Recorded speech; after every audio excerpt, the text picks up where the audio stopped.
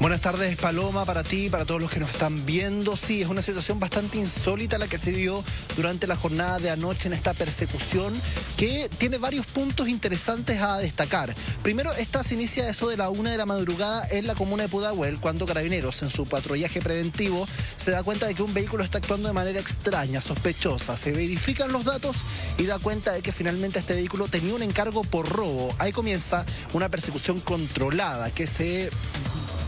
extiende por varios puntos de la comuna. En uno de esos puntos, un segundo vehículo que no era parte de esta persecución inicialmente da cuenta de esta persecución y empieza a escapar de carabineros pensando que era una persecución a ellos mismos. En ese escape hay maniobras eh, arriesgadas y este vehículo termina golpeando con un poste y volcándose, provocando lo que tú comentabas, la muerte de una persona y la fuga de, una, de un segundo individuo que iba dentro de este vehículo, que posteriormente sabríamos que también tenía encargo por robo em,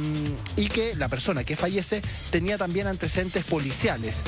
Carabineros se divide en esta situación, un grupo sigue con la persecución original y otro atiende este volcamiento, ahí se da cuenta de que finalmente también tenía encargo por robo, pero la persecución original continúa y se extiende hasta la comuna de San Miguel, donde finalmente las personas deciden abandonar el vehículo, eh, se habla de cinco personas, cinco individuos que andan dentro de este, de este primer vehículo, lo abandonan, se dan a la fuga y Carabineros logra recuperarlo, dando cuenta que también tenían cargo por robo, em, robado durante la jornada de ayer,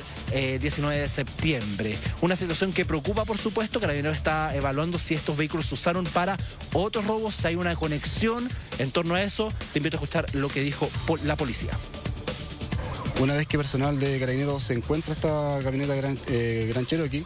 comienza su seguimiento donde esta segunda camioneta, la camioneta Maxus, eh, ignorando el motivo por los cuales debe haber visto la presencia policial, huye de igual forma, la cual colisiona con un poste, volcándose dicha camioneta y falleciendo el conductor. Evaluar posibles conexiones también entre estos dos vehículos va a ser parte de los labores de la policía, pero no fue el único hecho policial